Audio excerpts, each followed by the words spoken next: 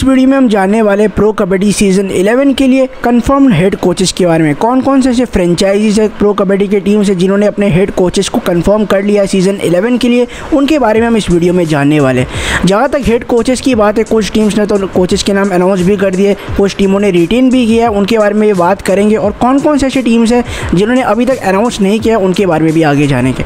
सबसे पहले टीम के साथ आ जाते हैं, जिनका हेड कोच कन्फर्म है ऑफिशियली कन्फर्म्ड है, वो है यहाँ पे पहले टीम बेंगलुरु बुल्स के, जिनकी टीम के कोच इस बार भी रणधीर सिंह सरावत से रहने वाले ऑफिशियली कंफर्म हो चुका है, एक ऐसे एक लौते कोच जो कि सीज़न वन से एक ही टीम के साथ जुड़े हैं। रणधीर सिंह सरावत सर को बुल्स की टीम ने रिटेन कर लिया है एज अ हेड कोच यहाँ पे आप पिक्चर सामने देख सकते हो, यहाँ पे लिखा हुआ है कोच को रिटेन किया गया कितने बढ़िया तरीके से बुल्स ने इनको वापस रिटेन किया, किस तरीके से इतना बढ़िया वॉलपेपर बनाया और रणधीर शेरावत सर वापस हमें एज अ हेड कोच नज़र आने वाले बेंगलुरु बुल्स की टीम के लिए ये ऑफिशियली कंफर्म हो चुका है। एक ऐसी टीम जो कि काफ़ी लॉयल्टी शो करती है। लास्ट सीज़न बुल्स की टीम क्वालिफाई नहीं हो पाई थी, लेकिन रणधीर शेरावत सर का क्या इंपॉर्टेंस है, वो टीम बेंगलुरु बुल्स जानती चलते दूसरी टीम दबंग दिल्ली के साथ। तो दबंग दिल्ली के नए हेड कोच जोगिंदर नरवाल बन चुके हैं। मैं आपको बता दूँ, जोगिंदर नरवाल को नया हेड कोच बनाया गया है दबंग दिल्ली का।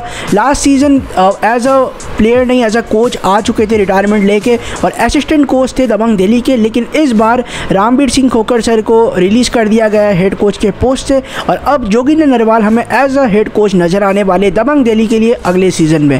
और ये ऑफिशियली कन्फर्म हो चुका है। पिक्चर आप स्क्रीन पर देख सकते हो। जोगिंदर नरवाल प्रो कबड्डी सीज़न 11 में दबंग दिल्ली के एज अ हेड कोच नज़र आएँगे।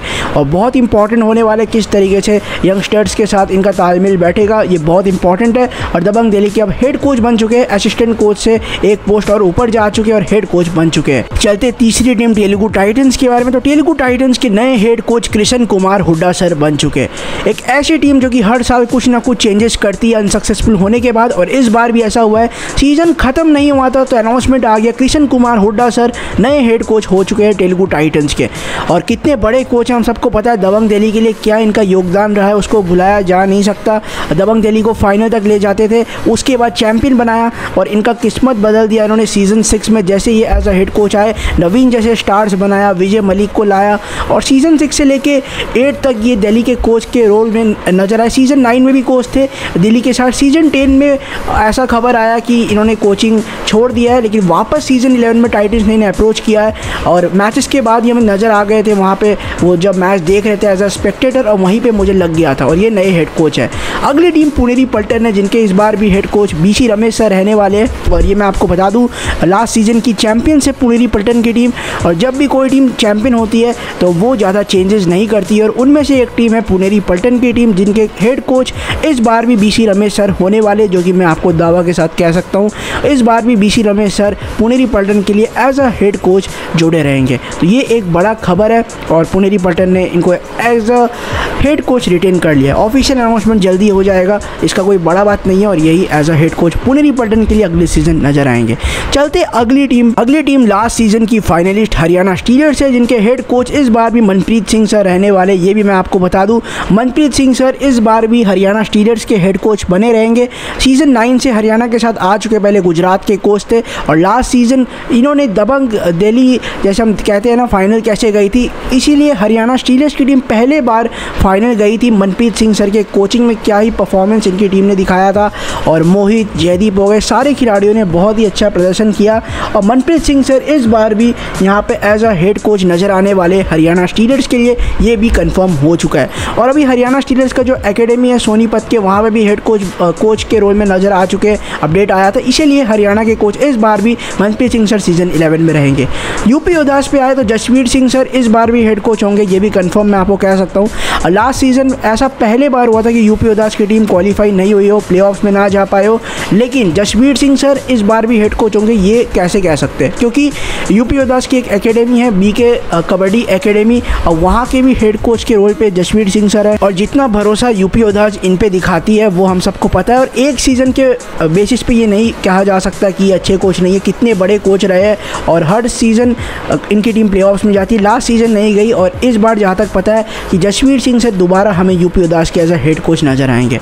चलते जयपुर पिंक पैंथर्स पे। सीज़न नाइन की चैंपियंस उनके हेड कोच भी संजीव बालियान सर ही रहने वाले अगले सीज़न के लिए।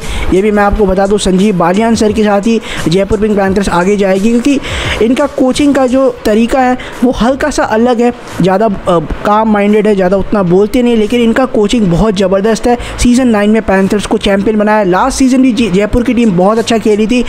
आगे फाइनल तक नहीं जा पाई, लेकिन बहुत ही अच्छा ओवरऑल परफॉर्मेंस था और संजीव बालियान सर के साथ ही स्टिक रहेगी जयपुर विंग पैंथर्स की टीम और इस बार भी वही कोच रहेंगे सीज़न इलेवन के लिए। चलते अगली टीम गुजरात जायंट्स के बारे में तो इनके कोच राम मेहर सिंह सर ही रहेंगे। ये भी मैं आपको बता दूँ, गुजरात जायंट्स भी मुझे नहीं लगता कोई हेड कोच चेंज करने वाली है। राम मेहर सर जब कोच बने थे सीज़न नाइन में गुजरात के लिए, जब पटना से गुजरात आ गए थे तो वो सीज़न कुछ अच्छा परफॉर्मेंस नहीं कर पाई प्ले में नहीं जा पाई, लेकिन लास्ट सीज़न बहुत इंप्रूवमेंट हुआ टीम में और प्ले तक गई। गुजरात जाइंट्स की टीम और राम मेहर सिंह सर एक बहुत बड़े कोच है प्रो कबड्डी में लेजेंड है और इनके कोचिंग में हमने देखा है कि पटना कितना अच्छा करती थी। उम्मीद है अगली सीज़न भी गुजरात की टीम बहुत ही ज़्यादा अच्छा करेगी और हेड कोच भी यही रहेंगे, ऐसा मुझे लगता है। और राम मेहर सिंह सर ही एज हेड कोच नज़र आ सकते हैं आपको। अगली टीम और आखिरी टीम पटना पायरेट से जिनके head coach Narender Redu sir रहने वाले। लास्ट सीज़न हेड कोच में चेंजेस किया गया था, रवि शेट्टी की जगह नरेंद्र रेडू को लाया सीज़न टेन के हेड कोच के रोल में। और हमें ऐसा लग रहा था पटना उतना अच्छा नहीं कर पाएगा, लेकिन इन्होंने जिस तरीके का जो स्टार्टिंग सेवन बनाया था, नए टैलेंट्स संदीप हो गए, सुधाकर एम हो गए अंकित जागलान, कृष्ण धूल जैसे प्लेयर्स को मौके दिए और उसके बाद नीरज कुमार की जगह मयूर कदम को भी लाया, फिर वो भी चले और पटना की टीम प्ले गई थी। अगर आपको पता होगा सीज़न टेन अभी ख़त्म हुआ है मार्च में और पटना की टीम प्ले गई थी। लास्ट में एक, वो जो गलती हुआ था, उस मैच में वरना आगे भी जा सकती थी, लेकिन बहुत ही अच्छा इनका कोचिंग रहा था पटना पायलट्स के लिए, जिस तरीके से इन्हें गाइड किया प्लेयर्स को। तो ये यहाँ पे कन्फर्म हेड कोचेज़ है।